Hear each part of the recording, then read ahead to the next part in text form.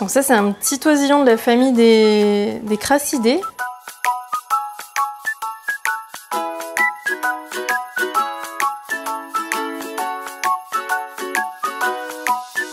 Mais c'est compliqué de dire, euh, il est tellement petit, il doit avoir tout juste 48 heures.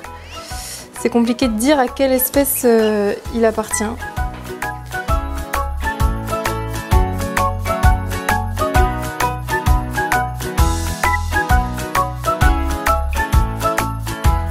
A encore le, diamant là sur le bout du bec, euh, voilà, qui finit par s'obscurcir au fil du temps. Et euh, là, on voit qu'il son, son piaillement aussi, euh, la couleur de ses pattes, on voit qu'il est, il est tout jeune, tout jeune, tout jeune.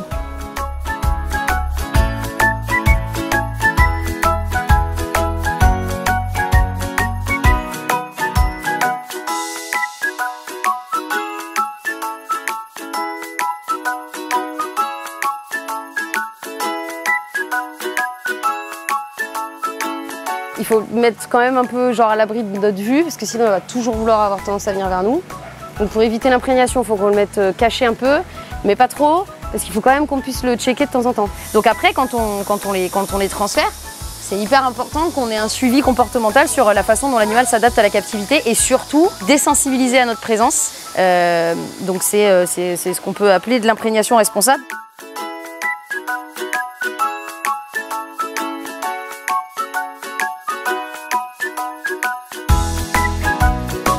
C'est-à-dire que là, euh, Géraud, euh, voilà, maintenant avoir des interactions euh, juste vocales avec moi, c'est intéressant pour lui et c'est agréable pour nous deux. Voilà, la vérité. voilà.